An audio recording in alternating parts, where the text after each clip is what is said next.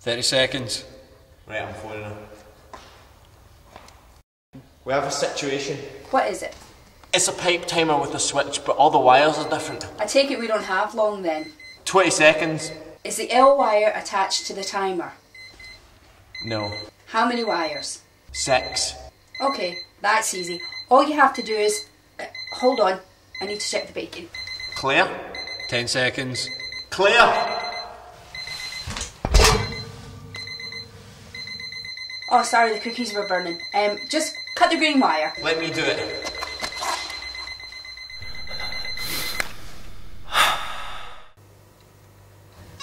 Amateurs.